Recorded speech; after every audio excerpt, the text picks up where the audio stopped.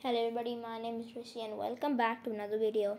Today I'm going to be explaining ancient Egypt, the civilization to you.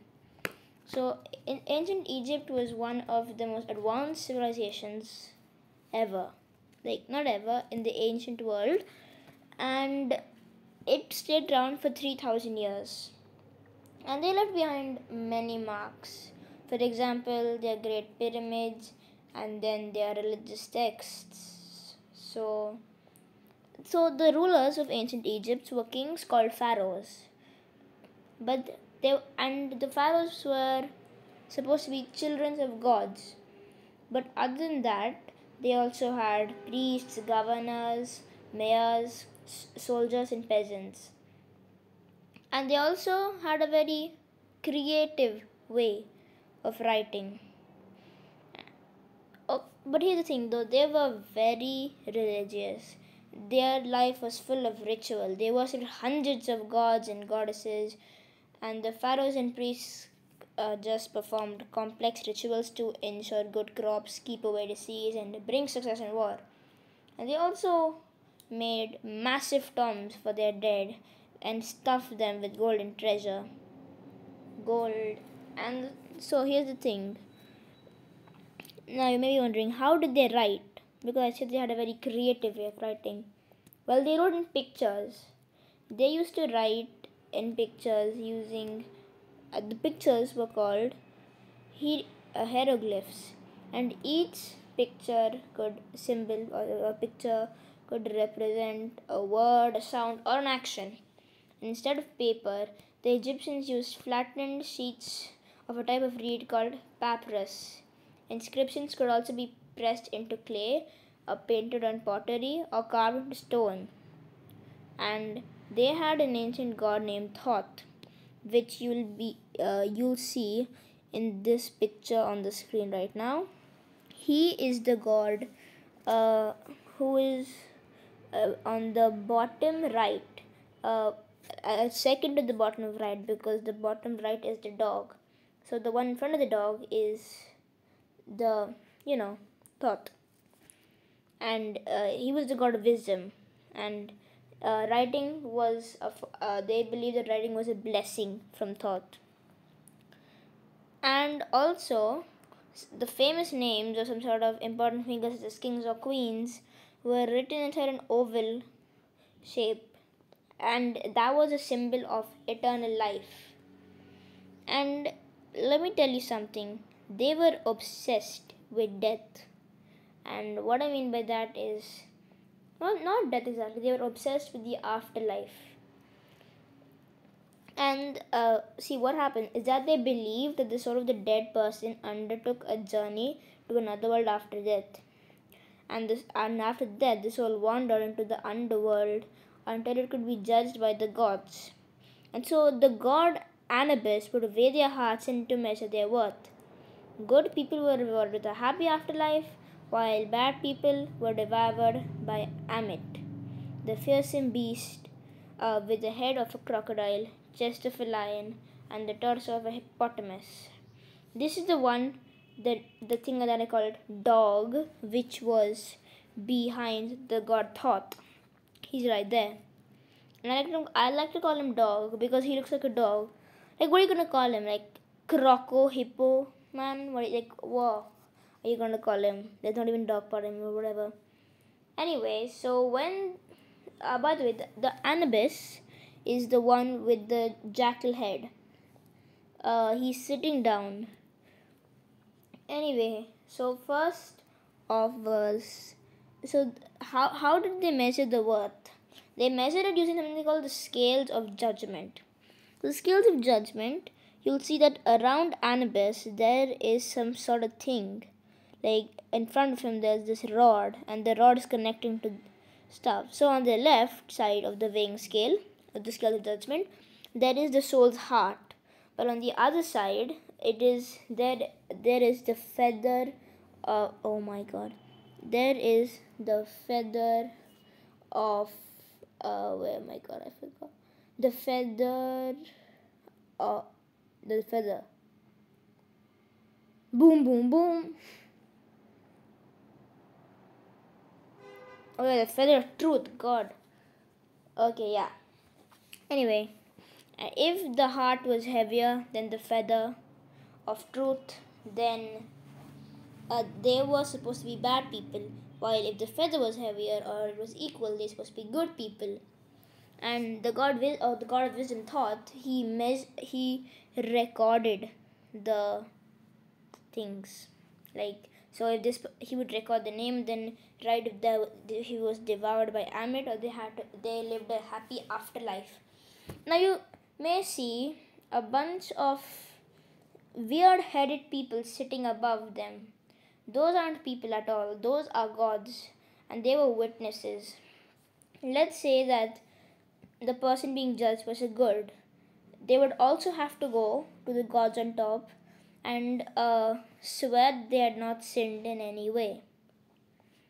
And that is about the afterlife basically. But where did they live?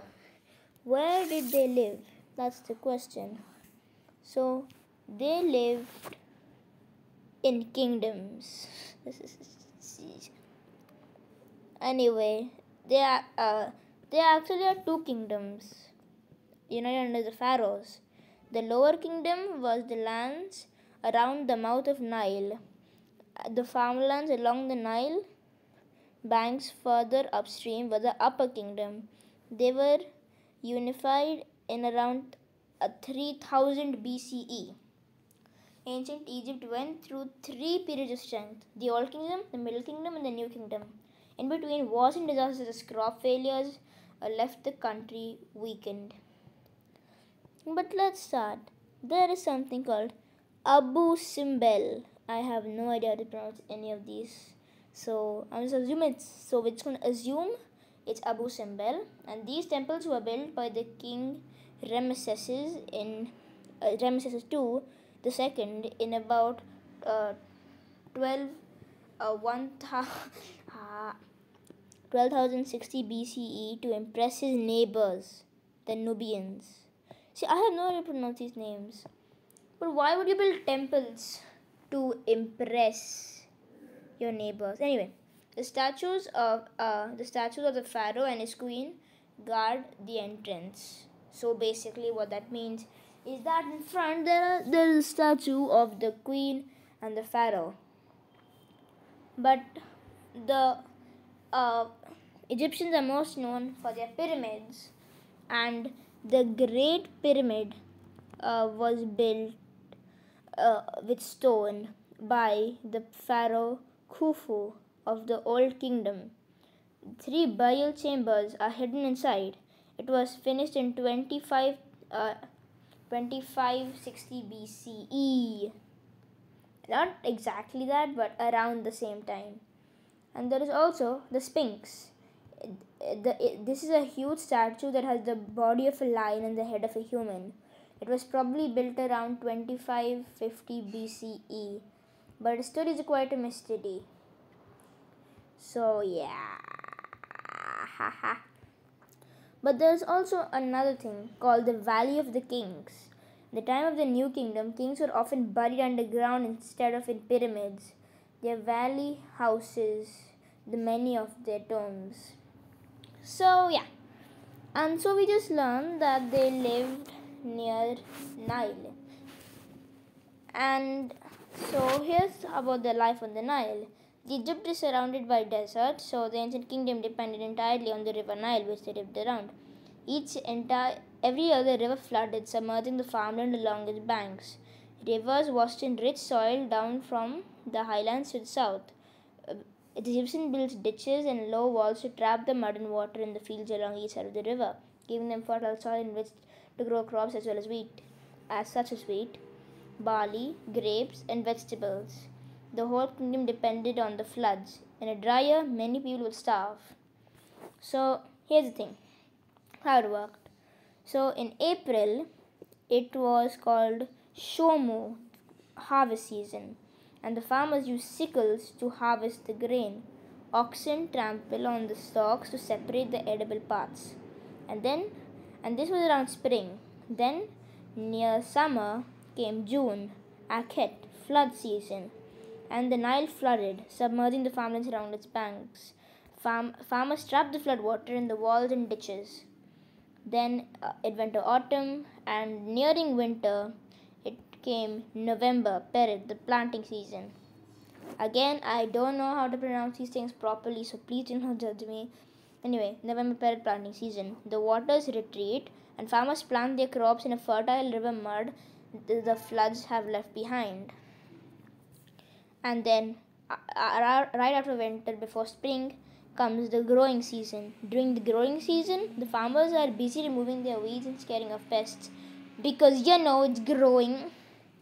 Now, what about some gods? What about the gods and goddesses? So, the, it, as we already said, the Egyptians worshipped a large number of gods and often in the form of animals and natural forces. The greatest god was Ra, the sun god, who created the universe. And then cow-head, cow-headed Hathor was the goddess of motherhood.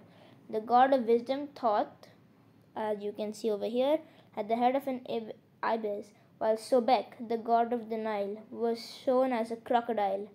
The river goddess Nut, Nut arched her body over the earth to form the sky. Hey guys, do you think the last name was Nut was Case and her name would be Nutcase? Hmm, maybe. Anyway, the symbols of Ra, the you know the greatest god, the sun god stuff. So the symbol of Ra was the god Ra journeying across the sky as the sun, and there was a disc on his head, which pro- which produced produ- uh, produced light, and he stood on the boat that sails across the sky from morning until night. Now, but what about the afterlife? Like we uh, we learned about the afterlife, but what about the process of the afterlife? Uh, well, the Egyptians were obsessed with being dead. So yeah. Uh, but here's the thing: the uh, about the pharaohs is a fun fact. Uh, they were children, they were supposed to be children of the gods, right, or just gods, and so they were their responsibility was to make sure that the river Nile flooded, because without the flood, like the crops would grow, and in case of a drought, the pharaoh would have to ask for the help of the gods to help him please the people. But and if, it, things did not improve, he would be blamed, which was bad. Anyway, important people like pharaohs were uh, mummified to preserve the bodies in the afterlife because the ancient Egyptians believed that if the body was rotten or damaged, uh, the, they would suffer in the underworld. So here's how uh, they mummified. First, they removed all the organs, including the brain. I know it's weird, right? But before they did that, they washed the body in wine and uh, the, only organ they left in was the heart so that was really creepy the reason they didn't take out the heart was because they believed that the heart was the home of the soul anyway next they packed the hollowed body with bags of natron which was a natural salt that drew water out of the flesh it was kept inside the body for 40 days then they removed it and uh, washed it in wine to remove the salt then they packed it with sawdust and resin coke linen. The skin was rubbed with oils and perfumes and often painted with resin for extra protection. Then they wrapped the mummy in layers of bandages, amulets, which are pieces of jewelry with magical powers, which um, were included to keep the spirit safe on the journey to the next world. The finishing touch was a decorated mask. The mummy was placed in the coffin, which was painted or carved with likeness of a dead person. The mummies of the rich people were enclosed in several coffins, which in turn sat in wooden shrines. And then the last bit exactly 70 days after death 70 days 70 days the mummies were laid to rest. The procession would carry the coffin and burial goods to the tomb often sealing them away so that robbers could not break in. Uh, so here and here's a fun fact. Did you know that uh, most tombs in the Valley of the Kings had been painted, uh, had, had, had painted walls. But in Tutankhamun's tomb, you know, that famous fellow, Tutankhamun's tomb, only the burial room was painted, which suggested that it was made in a hurry. Which makes sense actually. Anyway, speaking of Tutankhamun, let's talk about Tutankhamun's tomb. Tutankhamun became a pharaoh at the age of 9 and then he died suddenly just 9 years later in 1327 BCE. He was buried in an underground tomb in the Valley of the Kings on the west bank on the west bank of the River Nile. Although grave robbers stole some of his burial treasure, thousands of precious artifacts lay undisturbed for more than 3,000 years before arche- arch- uh, archaeologists rediscovered the tomb in 1922. So, yeah. But let's talk about the structure of a tomb. So the first off was the entrance hall, and this was a short entrance corridor sloped downwards into the tomb. Then, then there were four full-sized chariots, and then rock-cut walls. The walls were bare rock, chiseled into a smooth finish. Then there were gold-covered couches with animal heads. Then there was the annexi. The room was filled with containers of luxurious foods and expensive wines and oils. Then, uh, then there were bales of cloth. These were rich fabrics that would provide clothes for the dead king in the afterlife. And but now, for and then came a room with the mummy shrine, and the tomb was encased in four shrines of gold painted wood. And so here are the layers. First, with the inner, uh, uh, what is that called? The inner coffin, which was made of solid gold, and then there was another layer, there's of this wood, and then and then there was another just like the gold one, but that was wood, just painted gold, and those the four layers. Also, there were wall paintings, and the wall of the burial chambers was decorated, uh, depicting scenes of the afterlife. And there was also the other room near it and that was the treasury. And the room contained most of the king's most valuable treasures and for example model boats these models were believed to grow full size in the afterlife and companion mummies mummies two smaller mummies were found there thought to be the children of the king who who died when they were young and then uh, remember how I said that they remove organs? They also store those organs. Yeah, uh, that that's weird. There was a shrine for organs, and the, the, there were jars containing the king's organs were enclosed enclosed in a wooden shrine covered in gold. And there was also the Anubis statue. The jackal represents Anubis, god of embalming, who would guide the king in the afterlife. And that is pretty much it about pharaohs and ancient Egypt. Like the basics, I mean. If you enjoyed this video, make sure to leave a like and subscribe because this took me so long to make. Anyway, bye. Have a nice, have a nice day.